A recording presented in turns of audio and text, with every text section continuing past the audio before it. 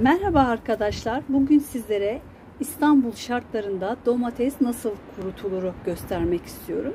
Bu kurutma işlemi İç Anadolu bölgesinde veya Ege kıyılarında, Akdeniz kıyılarında çok kolay. Tabi güneş, rüzgar e, haliyle neticeler çok iyi alınıyor. Fakat İstanbul'da nemden dolayı patlıcan kurusu veya herhangi bir biber kurusu böyle daha sulu bir e, meyve olan ki domates bir meyvedir e, bilinenin aksine e, sebzeyi kurutmak çok daha meşakkatli.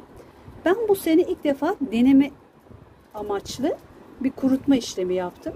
İlk önce e, bu videodan önce deneme mahiyetinde iki tane domatesi ortadan ikiye ayırdım ve sonra onu da tekrar ikiye ayırarak tam bitirmeden koydum ve kurutmaya başladım.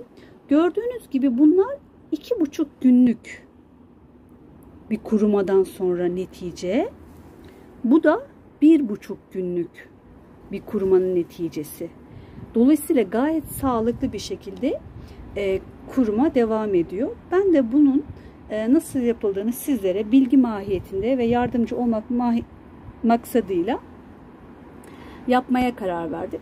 Önce alacağımız domatesin cinsi çok önemli.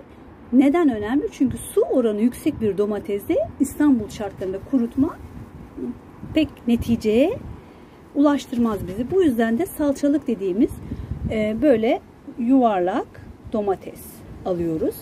Ve bunların da orta boylarını çok büyüklerini de değil yine onda da kurutma zor olacağı için orta boylarını seçtim. E şimdi bunu gösteriyorum. Bu domatesi ortadan ikiye böldüm.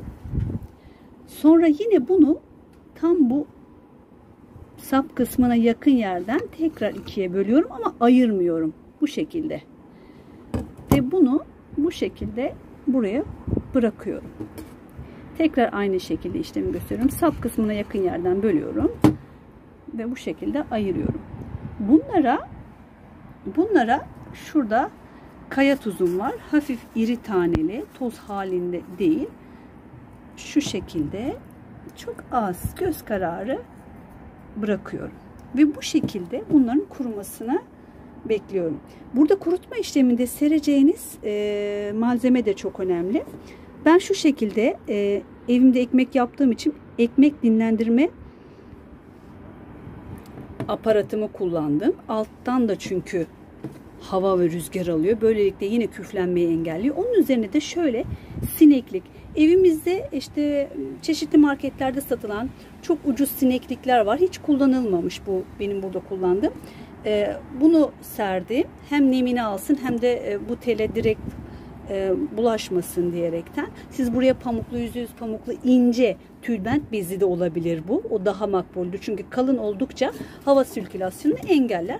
Bu şekilde serdim ve kurutmaya başladım. Bu bugün yaptığımız, bu iki gün önce yaptığım, bu da bir buçuk önce yaptığım. Gayet güzel kuruyor. Mesela ilk gün yaptım akşama doğru şu şekilde geldim. Bu ayrım kısımları büzüldükçe yapışmaya e, yöneliyorlar. Tekrar onları mesela şöyle geldim elimle hafif açtım, yokladım ve direkt güneşe balkonda İstanbul şartlarında kurutmaya bıraktım. E, gördüğünüz gibi bu boyda bir domates hemen hemen şu hale geliyor.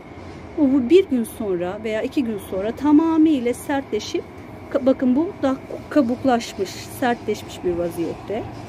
Tekrar burada diğer domatesim de örneğimizi çeşitlendirmek adına yapalım. Tekrar göbeğe yakın, bakın göbeğe yakın açıyorum. Ve bunu buraya bırakıyorum. Diğerini de aynı şekilde. Eğer bu tarz şeylere meraklıysanız denemekten korkmayın. Evet netice sizi güldürmeye de bilir ama sonuçta sizi bir yere vardırır. İlk denemeniz belki iyi olmayabilir ama ikinci, üçüncü de artık bu özenerek baktığımız videoların neticelerine ulaşabiliriz. Beni dinlediğiniz için çok teşekkür ederim. Güzel sofralarda oturmanız dileğiyle.